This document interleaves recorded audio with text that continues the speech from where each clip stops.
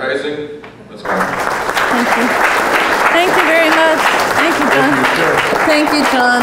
Um, it was kind of a big surprise to me when uh, some of our students at Iowa State came in my office and kind of discovered that I'd done this work in thorium. And I should give you a little bit of background on myself. I've been a board of directors member of the American Nuclear Society for six years taught at MIT in the nuclear engineering department. In fact, I got my PhD over here at that little school, Stanford. In mechanical engineering back in 1978, I was probably the last PhD in the nuclear field. And my doctoral work was on, sponsored by the Electric Power Research Institute, EPRI right around the corner. And it was on recycling plutonium and light water reactors and then LMFBRs. So that time, actually I'm an expert on risk assessment. I'm a nuclear safety expert. And so after I left uh, Stanford, I taught at MIT under Norman C. Rasmussen, uh, who was the chair of the nuclear engineering department at MIT and the father of the WASH 1400 reactor safety study. So most of my career has been on reactor safety for light water reactors. And it really wasn't until uh, 2008 when I went on sabbatical at General Atomic in San Diego that I got involved with thorium. And uh, so I'm going to, most of my slides are from that work. And now I also want to introduce Dr. Ram Sharma. He is not an engineer, he's a poet, he's a writer, he's a professor of English. But he is a passionate environmentalist and um, he is involved with a World Peace Center uh, after Mahatma Gandhi in the greater Delhi area. And together we have been speaking at many colleges of engineering and business and other fields in India. Uh, we're passionate about saving the environment. We're passionate about the problems with global warming. We went up to uh, visit the Himalayan mountains. In fact, I will be in India for three months. This summer, we'll return to the Himalayas. You'll be surprised to hear that in June we were up and saw no snow up at the highest peaks. So the Ganges river system in India is in peril. As we know, there's a drought in California, and there are major weather events occurring all over the world. So global climate change is an issue. Now, when uh, John was talking about Al Gore, uh, we happened to be at a global climate change conference in February uh, in India, in Gwalior, which is about, for those of you unfamiliar with India, you may have heard of the Taj Mahal. The Taj Mahal is located in Agra. And it's about, what, a three hour train ride down from Delhi. An hour south of Agra is Gwalior, which is another major Indian city. There they have a private university of science and technology, and the Indian government has been sponsoring conferences on climate change.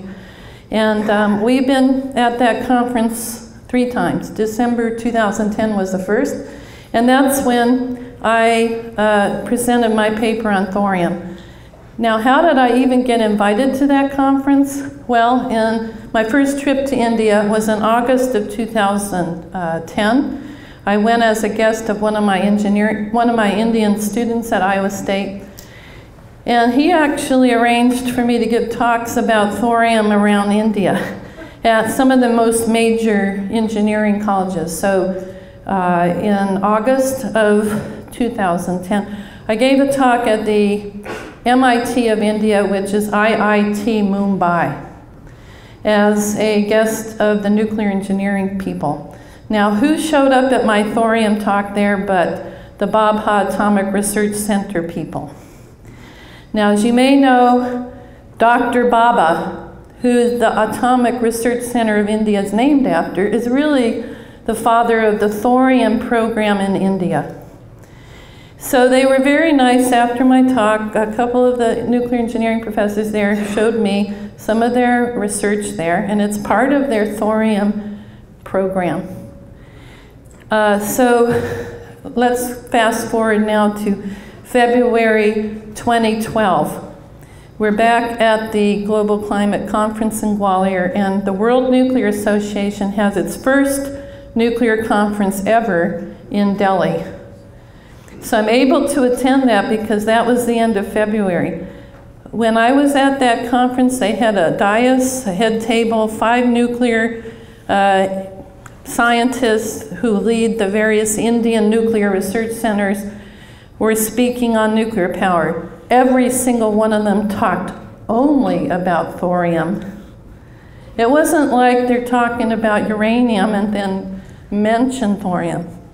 Now, as a former board member of the American Nuclear Society, I can tell you that at all of those numerous conferences at ANS I've been to and helped organize, we never once talked about thorium because our country decided a long time ago that we were going with the uranium plutonium fuel cycle. And thorium was left behind. So even at MIT in the nuclear engineering department, our students never hear about it, which is, you know, a crying shame. But India, on the other hand, has been, uh, because of the thorium resources in India and various other reasons, consistent in their path. So I'm here today to talk a little bit about that. So I'm going to go, first of all, Dr. Ram is going to recite, he's passed around some of his poetry. He's agreed to recite a couple poems which have to do with his passion about uh, saving the world and all of those things. Go ahead. Namaste to all. It's my pleasure to speak among galaxy of nuclear scientists We have been working together on Ganges. We have been up to the Badrinath. And I tell, I'm telling you about energy. Our government were uh, making 15 hydraulic power plants four years ago. Then we decided to oppose this policy. And now we have a new government from last year. So this government is very much pro-thorium active we have written letters, we have done demonstrations. So now they are making new policies about uh, nuclear power plants and uh, they are going to release it very soon. I am going to recite uh, my first poem, Life's Clarion Call to Save the World. What is life's clarion call? Save the world. When dawn scatters the golden pulse of life, when night sings the lovely songs of love. The conscious dances into the deep blue of sky. The light of energy laughs inside heart's greenery. Then all the dreams of life will awaken where the dark clouds once hovered all around. And the sea howls within its uncontrollable waves, where the storms have come without any direction. Here our life swan song resumes its singing. Inside of love, we are living life's clarion call. Second poem is directionless. We are all ever directionless and we do not really know anything at all. When did we laugh from within hearts last? All are engulfed inside of mundane glitters. We are unknown even to ourselves. We are all ever alone here now. But do not worry so much. We have to go on searching for that which is eternal and that is, that is so great. Love is all powerful and we have come to give love. We have only come here to spread this love so wide very vast, so deep. And the third small poem, world will change with your laugh. The dark night will disappear with a glittering dawn. The world will change with your laugh. Open all our eyes with positivity. The ferocious storm will change into a cool breeze. The flowers of feeling will open and blossom The vines of love will ever grow strong. Consciousness of prayer shines upon the darkness of night. The dark night will disappear with a glittering dawn. The world will laugh, will change with your laugh. Thank you. I'm handing over to Caroline. Unlike um, climate change conferences that might have been held here in the US, not only do Indians react in a very positive way toward nuclear power, but of course thorium is viewed as we view it here in this room. So some of the people mentioned they go to Washington or in Denmark, the politicians aren't listening, but in India that's not the case. Uh, at a government conference at the Taj, all of those nuclear scientists up there at the World Nuclear Association conference talked only and mainly about thorium. So there is at least one country on the earth, and it's India, that has seen the light and has been seeing the light. so um, I'm just going to start going through then. What I have here is so when I was at GA, I found um, this article on thorium power that was in the Cosmos Australian Science magazine. And I really liked it. They had a flower nuclear symbol, and they thought of thorium power as green nuclear power. And I think all of you already agree with that, but I, if you haven't seen that flower nuclear symbol, uh, here it is, and it's thorium.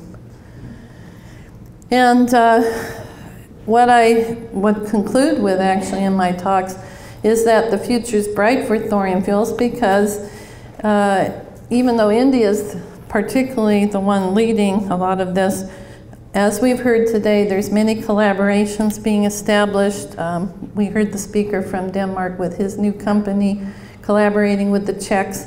And there are many different um, organizations that are now working on that. And these are showing, actually that slide is showing the nuclear plants around the world. So I had a slide that I came up with with the industrial experience of thorium, and unfortunately the only country on that list that still has any thorium reactor in operation is in India. Now, if you really want an update on what's going on with thorium in India, I happened to come across, go on YouTube and look up the TED Talk from CERN. And there's uh, one of the leading Indian nuclear scientists talks about what's going on with thorium in India and invites everyone down to southern India to visit one of their thorium-based reactors. Now, uh, I should mention when I was on the board of directors of ANS, we tried, I was also on our international committee, and we tried to have collaborations with India. But at that time, our government uh, really did not want to or permit us to do much with India because they, India had not signed the Non-Proliferation Treaty. So at that time, uh, that was a barrier. um, and so it's only been very recently in the last few years uh, that the ties between India and US, at least on the nuclear side, have started to warm up. And of course, you probably all have heard about this nuclear deal that keeps being discussed with India. President Obama was there with the new Prime Minister, Mr. Modi, uh, in February, about a week or two before we arrived for our conference. And so that has nothing to do with thorium, that has to do with their light water reactors. But uh, there is now at least um, kind of an opening emerging. Uh, you have to admit that the Indians have not been forthcoming, and why should they be? Uh, why should they be open to what they're doing with their thorium program? And um, so it has, in a way, it's been difficult to really find out details. But clearly, if you look at this list, uh, they have the greatest experience. And they're continuing to do that. Um, there, there's no sign that they're not going to, to do, to continue. In fact, with, I would ask Dr. Sharma to comment on Mr. Modi, the new prime minister. I presume Mr. Modi will even be more of a strong supporter of the thorium nuclear program. And if anyone disagrees with me, let me know. But I think that's probably the case. So I'm going to talk a little bit in the last couple minutes about, um, I don't know how many of you have ever heard of thorium symbiosis. Have any of you heard about that? So I thought I might talk about that in this group if you haven't heard about it. It's an idea that uh, Jim Lorimor came up with, who worked at GA and then went on to the IAEA. And while he was at the IAEA, he promoted this. Um, and this is not a new thing. It was September 1982 that he was working on a GA product, uh, project. And this has to do with how you could uh, utilize thorium on a global level. And of course, uh, he talks about the first stage being the deployment of LWRs on a once through fuel cycle, which is unfortunately where we're still at in this country. And that's with the current fleet of Generation 2 reactors on our UPU fuel cycle. Well, then he envisioned way back in 82 the second stage where you would have large numbers of advanced converters utilizing thorium, and they would be installed after the year 2020. The advanced converters initially operate on relatively efficient once through fuel cycles. Operation at high conversion ratios is introduced as U-233 becomes available from recycle and production at high conversion ratios is introduced. Then advanced converters, um, and at that time the NGNP program was underway, um, a very high temperature reactor, and those there are many alternatives, become the dominant reactor type as LWRs are retired. So this was an idea he had back in 82 as how you would phase out LWRs and bring in these high temperature reactors uh, and you would be using the thorium fuel cycle. So they would remain so during the transition to a long-term symbiotic system with about three advanced converters per fast breeder reactor. And then in the third stage, U-233 is introduced into the blankets of fast breeders, such as the NGNP SFR that was being developed at INEL. Now, the reason I'm bringing this up with regard to India is actually India has, when you look at their plans, really got this same kind of idea in mind because they're actually operating uh, you know, uranium fuel cycle power reactors. But in their latter stages, they're going to do this. This was something, though, that Jim Lorimor or, uh, discussed and studied at GA. And he, while he was at the IAEA, he developed the idea of an international thorium symbiosis on an international scale. It would be attractive and offers economies of scale and an example of a possible international nuclear cooperation arrangement based on thorium symbiosis is as follows. Multinational cooperation is established between an industrialized country or countries with a large nuclear power program and several associated countries whose installed nuclear capabilities or capacities are smaller than 30 to 50 gigawatt. And so the industrialized country hosts the fuel cycle centers with facilities for spent fuel storage, reprocessing, conversion, and recycle fuel fabrication. And then the smaller countries would be sending their fuel back. Thorium fuel from the SFR blankets is reprocessed along with thorium containing fuel from advanced converters. So this whole idea would be uh, the way that we could go on an international level. And um, if you haven't heard about that, I just wanted to bring that up. And I believe that, in a sense, the Indians are going after this. They're also considering exporting their technology and selling it to other countries. And I know uh, John talks about the Chinese.